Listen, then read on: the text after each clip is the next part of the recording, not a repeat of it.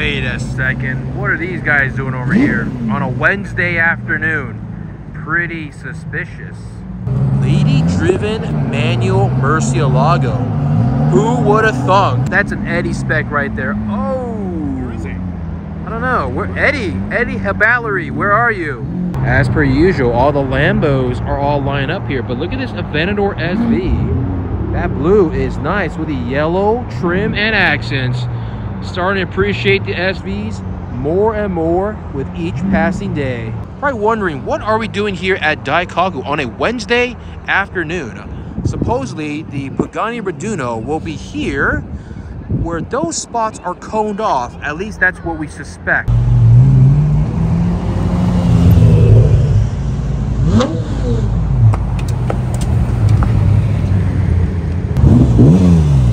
Nine six four Carrera Cup car. Where did that come from? So we got the Lambos rolling out over there, the Paganis rolling in, and we got the Huayra R uncovered over here. Oh, a black Zondini. Okay, very nice, very nice, very nice. Oh, it's Horatio. Horatio! Zonda F. Huayra Roadster BC. Another Huayra Roadster BC. This is a sight to behold. We got Jonathan's beat here. We got Mr. Sheep in the house over here and Ken's Boxster Spider. Top down, and course we got Mr. Alex Pensfold's GT4 from God knows how many tens of thousands of miles away from home. We got all the Pagani Raduno rolling up. This is pretty good, guys. Here we go. We got the boss lady driving the manual Murcielago. Loving all the Paganis over here. Oh, press the wrong button, brother mens. So we're trying to figure out if this is like a real RS 3.8, but it's got the Carrera Cup badging on the back. 964 roll caging inside. I, I don't know. If the Porsche enthusiasts don't know, how the hell am I supposed to know? But we're gonna film it for you guys. I literally do this for you, and a McLaren SOR has rolled up. I believe this is a first gen though, so don't be fooled. But it is manual, lady driven. Goodness gracious, what a serious, serious lineup here on a Wednesday. It was afternoon, but now it's night. So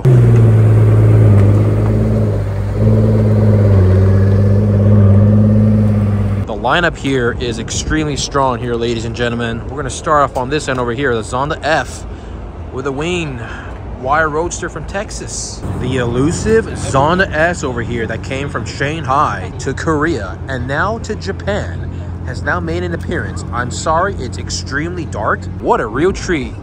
Hidden treasures, hidden supercars and hypercars in Asia. You gotta love it.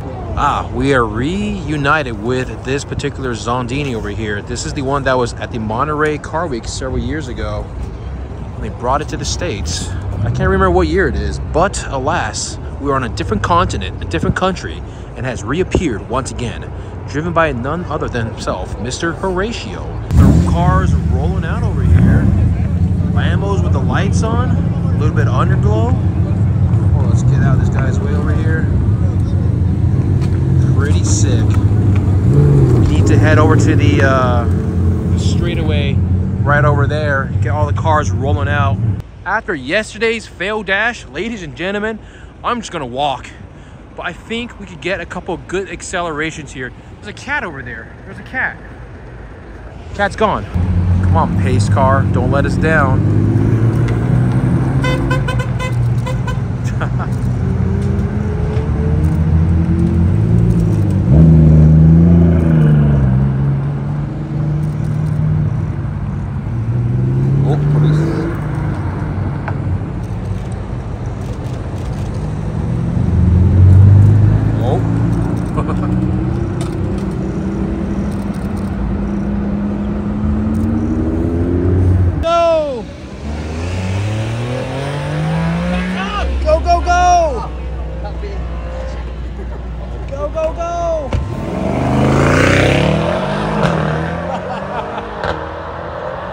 pull than any of those Paganis. Come on now.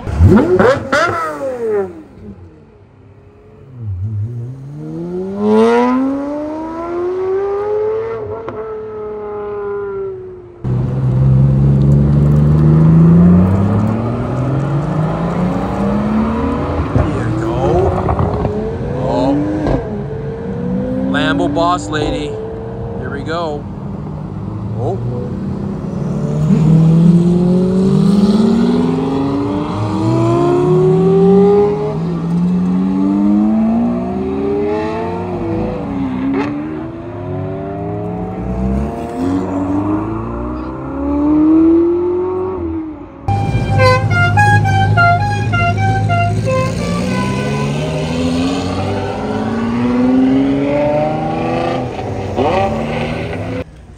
Chilling under the tree, a herd of sleepy deer at Nara.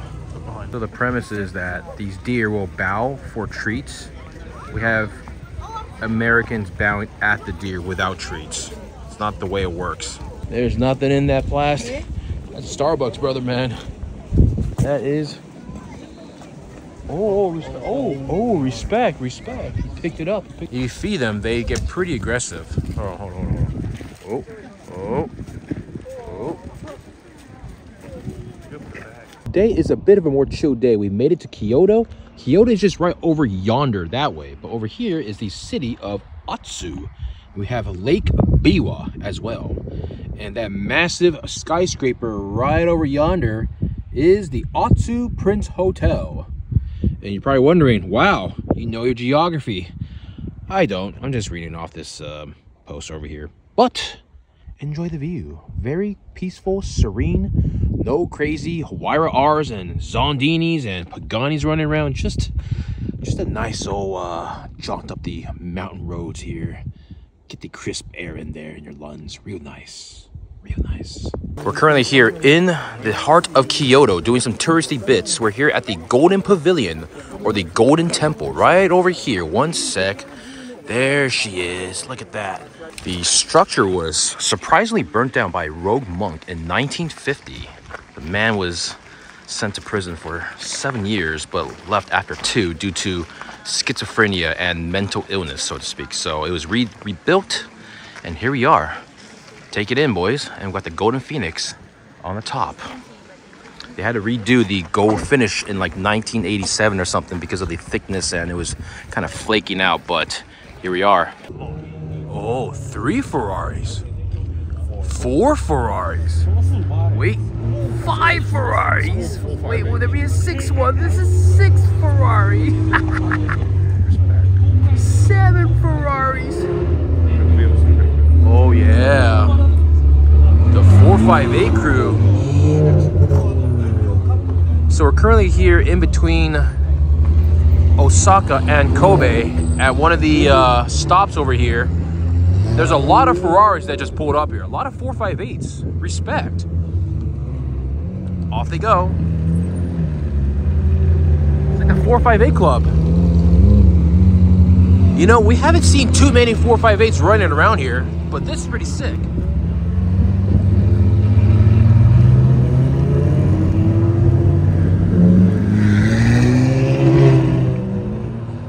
Pretty incredible stuff here. So every Sunday, everyone converges here at this nice converges at this viewpoint over here and the views are pretty decent. It is a little cloudy, but you know what? We'll take it. As long as it's not raining like that track day at Magarigawa, we'll take it all day, baby. We have an amazing vista point over here, overlooking all of Kobe right here. Look at this pedestrian walkway. Very twisty, very turny for no reason, but it looks amazing. So on the far left, Rokko Island, then we have Port Island. Then we have the two airports at the Kobe Airport and then the Kansai Airport right over here. Uh, let's see, Harborland is somewhere over there, and uh, there's a stadium right over yonder. Hold on, let me see. Get stadium, stadium, stadium, stadium. And then we have a couple islands over there that you can't see. It's a little hazy. I guess that's a restaurant. Nice. Anyways, that's sick. We got the whole crew here. GT4, 917 Spider, E63S, Alpine, and of course the RS6. Where are you? Where are you hiding? Oh, there you are. Great set of photos. Look at that. Come on. We've gained a car here on the road trip. We got Patrick's E63S over here. And now we're about to see a mini Gundam in the middle of the countryside. We stayed at this Fairfield by Marriott. Very nice, very nice. We were literally the only ones here, as you can tell. Found a mini Gundam here. There's a pigeon's nest. Oi, get out of the Gundam. Incredible, just in the middle of the countryside. Countryside things here in Japan. A dinosaur, a tree, a tractor, and a cat. Oh, there's like a minion inside of it.